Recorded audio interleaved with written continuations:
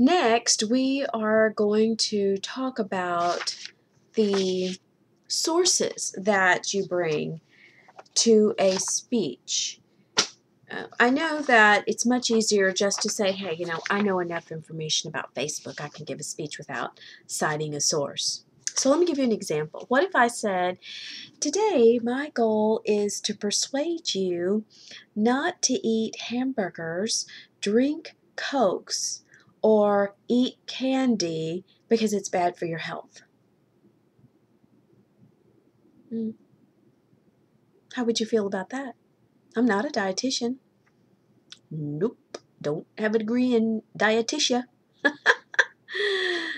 yeah, I'm not a doctor.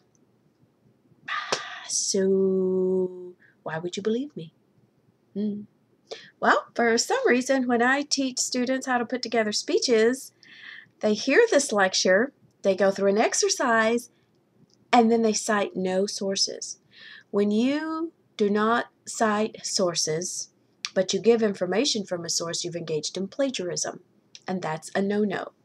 There's uh, there have been a, if you just Googled movie stars plagiarize, there is a I can't remember her name, but she was a big news person, and she got caught plagiarizing, and her career kind of went down just a little. She used to be up on top, got caught plagiarizing, kind of went down.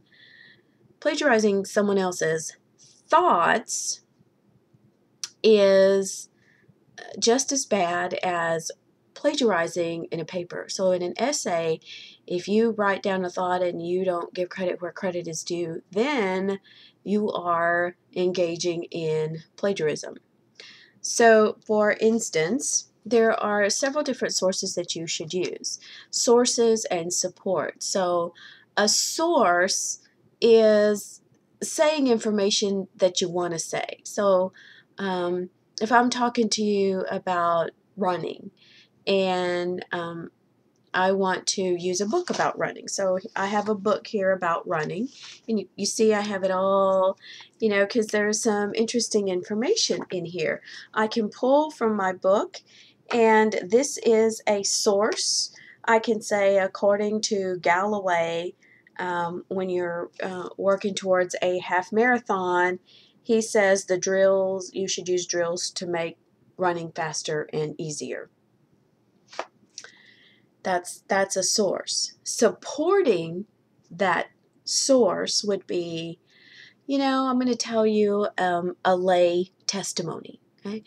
I'm a runner.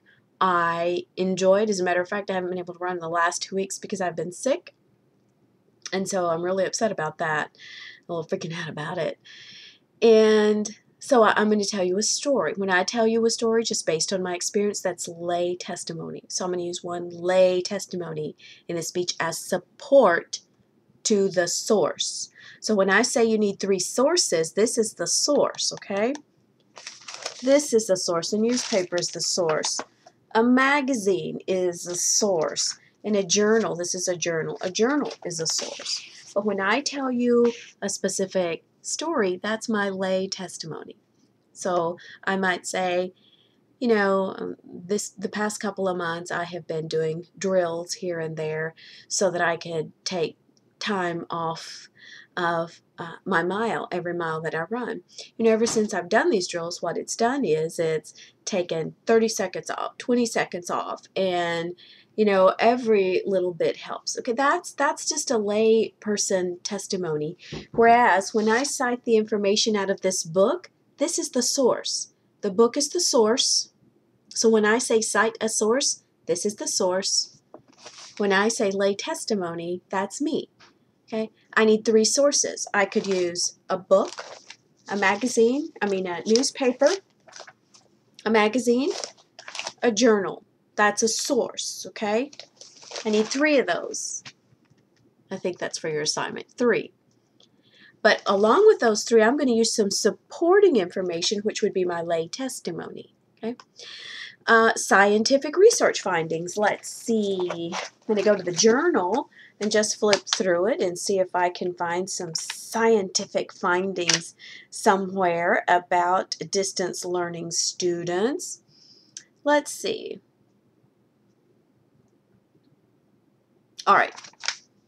According to the American Journal of Distance Education, Volume 24, Number 4, October December 2010, it states that the learner roles of engagement, as defined by Conrad and Donaldson, who call this concept phases of engagement, emphasize that the time must be dedicated for people to become completely oriented to the community. community. Okay, so this is information, scientific information from a journal. Scientific information from the same journal. Let me see. Let's see here what it says. Scientific journal. Hmm. Trying to find something that makes kind of sense here.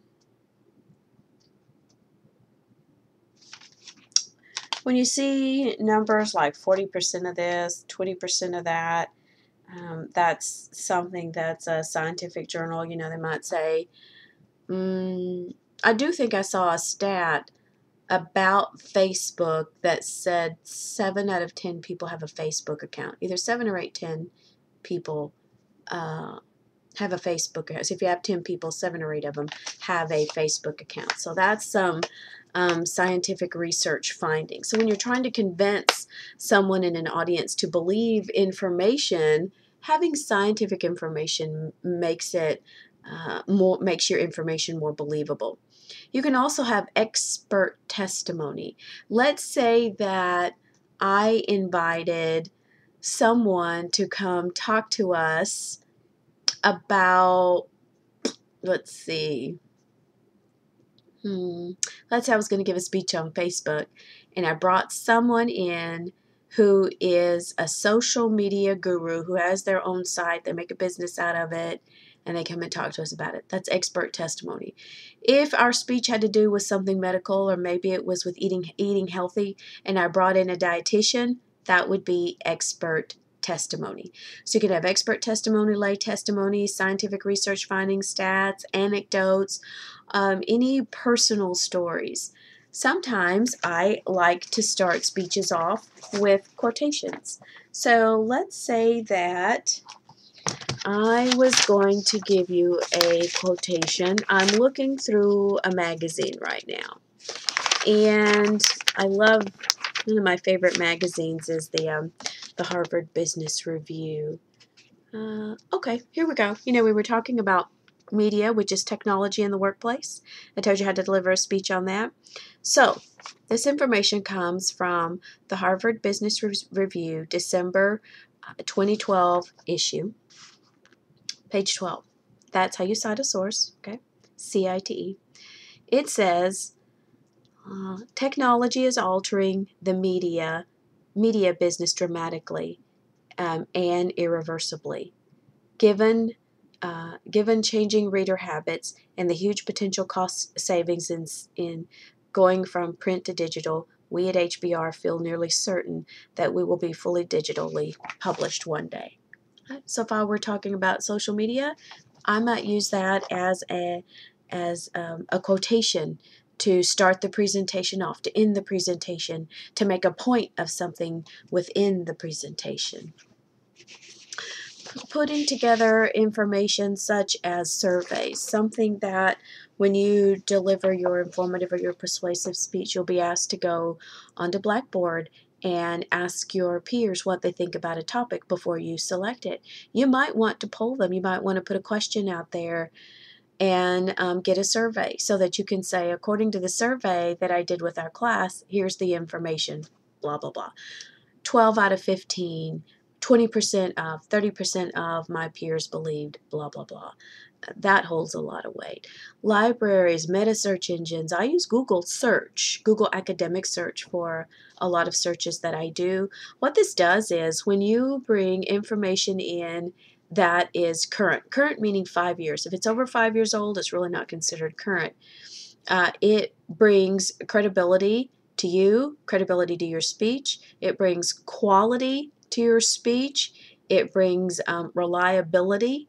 Uh, people re- are relying on the information that you have. And when you are a more credible speaker and you're a more trustworthy speaker, then people are more likely to believe your information in an informative speech. And if you're trying to persuade someone to change a value, to change a belief, to change a behavior, they're more likely to do it if you put together a speech that has, has all of these uh, different um, supporting materials in it. For instance, I used to not cycle. And then I would say about eight years ago, I had a student who delivered a persuasive speech on recycling. And he had some of the best sources that I have ever heard. And because of his excellent persuasive speech, he was credible. His topic was credible. His sources were credible. He had a fantastic, he delivered it well. He has, I have been recycling ever since. Um, and it was because of this student's speech. So when you're thinking about putting your information together, pull from all different places magazines, journals, okay, books, newspapers, radio stations. That you all put all that information together um, for your research for your speech.